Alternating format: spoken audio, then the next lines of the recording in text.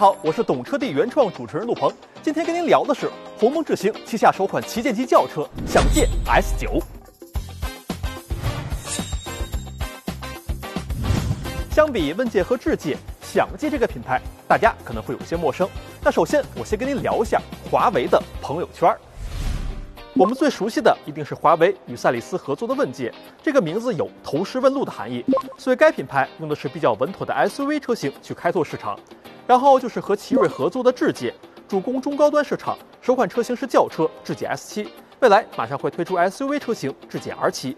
而今天的主角享界是由华为和北汽新能源共同打造，主攻高端市场，而这台享界 S9 就是他们的首款车型。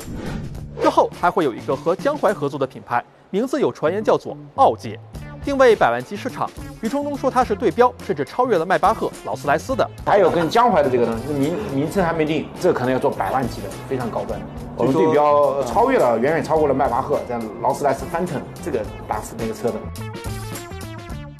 好，那回到这台享界 S 九上，首先新车的外观对我们来说并不陌生，它和问界 M 九一样，都采用相似的家族化设计风格。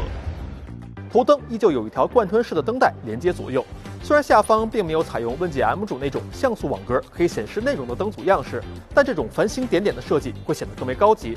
车顶上方带有激光雷达，会搭载华为最新的 ADS 3.0系统，而 ADS 2.0在我们懂车帝很多测试中都取得了不错的成绩，所以我很期待它的表现。看一下车侧，新车的车长为五米一六，从数据上来看，它是要比七八 S 小一圈的。三千零五十毫米的轴距，让它和五六 E 以及未来的 ET7 处在一个水平。不过电车的身份让它拥有较短的前后悬，同时我们可以看到 S9 车顶的弧线比较高，并且一直延伸到了车尾，具备很强的溜背感，有点 EQS 的影子。虽然这种设计会让车身显得有一些臃肿，但是车内的空间表现还是值得期待的，当然 EQS 除外。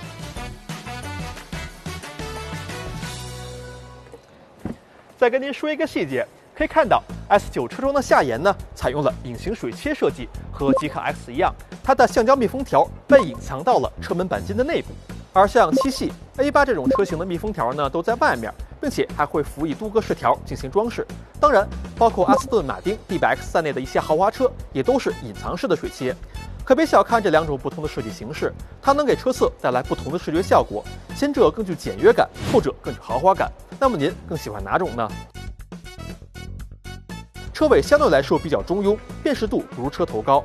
尾灯低视觉重心的设计让它和林肯大陆有些相像。在灯组方面，与 M9 相比，缺少了像素点阵的区域，所以它也就无法绘制内容了。咱们来看一下前备箱，官方说它的容积能有三十八升，并不算大啊，但是聊胜于无。好看一下后备箱，后备箱的官方容积是五十升，也不算太大，毕竟它将更多的空间还是放到了后排，并且这块还有一个十二伏的电源。好，那看完外观，您会给这台享界 S9 的外形设计打几分呢？那就我个人而言，华为这套家族式的设计确实是更适合放在轿车的身上。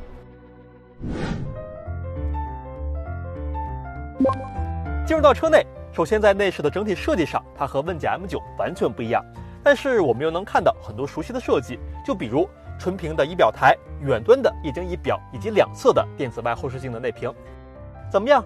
是不是感觉和阿维塔幺二有点像呢？当然，毕竟定位旗舰，所以 S9 在用料上比较下功夫。全车标配了纳帕真皮，中控扶手和门板饰条呢都是采用了实木进行装饰。而这个水晶饰条为国内首个 PUR 工艺水晶灯。我查阅了一下资料，应该是和宝马 i7 的水晶饰板采用了相似的工艺。它在未点亮时能呈现出金属质感，打开氛围灯之后会有通透的水晶切面效果。在配置方面，这个电子外后视镜应该是一个选装件，我非常喜欢这个配置，它可以很好的改善传统机械外后视镜有盲区，并且呢，在极端天气情况下视野不够好的问题。当然，毕竟它是一个电子配置，所以理论上会存在稳定性问题，比如可能会有画面延时甚至黑屏等风险。未来如果能将其彻底解决的话，电子外后视镜在中高档车型上的出镜率会越来越高。头枕带有独立音箱，导航信息可以只从头枕发出。车机和 M9 一样，采用的是鸿蒙 OS 四系统。拍摄时间有限，就不赘述了。不过从车机中可以看到，全车的四个座椅都带有通风、加热和按摩的功能。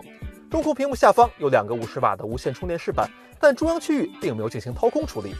那么您可能会说了，为什么这台车没有副驾屏幕呢？行政级车型的前排并不是重点，多一块副驾屏幕可能会破坏它整体的一个简约设计。而这台车的重点一定是在后排，前排已经调整到我合适的驾驶坐姿，可以看到后排的空间表现可以用非常宽裕来形容。当然，副驾后方的老板位才是这台车最正确的乘坐位置。首先聊一下它的乘坐舒适度，坐垫柔软，包裹性不错，整体的一个乘坐感受呢，要比 A6L 和 ET7 更好一些。不过呀，它的坐垫如果能再厚一些的话，就更好了。放下中央扶手之后，可以看到在两个座位的中间有一个不带压缩机的冷暖箱，它可以支持三到十度的制冷，以及三十五到五十度的制热，在我们离车锁车之后，也可以远程开启。我本来认为它的主要功能呢，就是放个酒、放个饮料啥的。但我朋友告诉我，很多老板用车载冰箱，主要是为了冷藏随身携带的药品或者是保健品。屏幕前的老板们，我朋友说的对吗？您看到这个安全带了吗？它是被固定在了座椅上，所以说这个位置是在零重力模式。咱们可以通过门板上的这个触控按键一键打开。哎，那可以看到现在副驾正在向前翻折。当副驾驶调整好之后呢，我们的老板位置就开始移动了，然后整个座椅会向后倾斜，然后座椅呢会翘起来，实现一个零重力的感觉。哎，靠背向后躺，要不说是老板位呢，真的是挺享受的。中央扶手呢带有一块可以触控的屏幕，当我们的躺平模式下，可以把它翘起来，最大可以翘到四十五度，就像这样。那通过它呢，我们可以控制座椅、空调以及上方这块投影屏幕。和 M9 一样，S9 也配有一块投影屏，可以通过扶手屏幕去控制，用起来比理想的手势控制要方便很多。但它毕竟不是液晶屏幕，所以显示效果还是要打一些折扣的。同时，也和 M9 一样，要想降下屏幕，主副驾驶的座椅就要稍稍靠前一些。当然，你也完全可以把它当成一个隐私幕布去使用。配合着后风挡、后侧窗、后三角窗以及天幕的遮阳帘，可以形成一个相对私密的空间。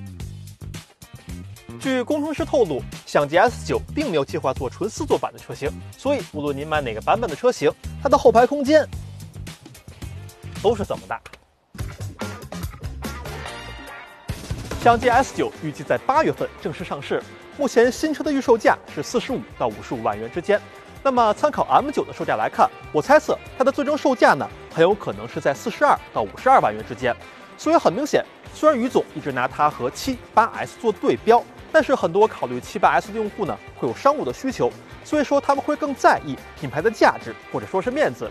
显然，在这方面，想借品牌还是不够的。当然，车呢还是用来开的。未来等到我试驾完这台新车之后，再对它给您下一个更为客观的结论。好了，以上就是本期的全部内容。如果您对它有任何疑问的话，都可以给我留言。我是陆鹏，咱们下期再见。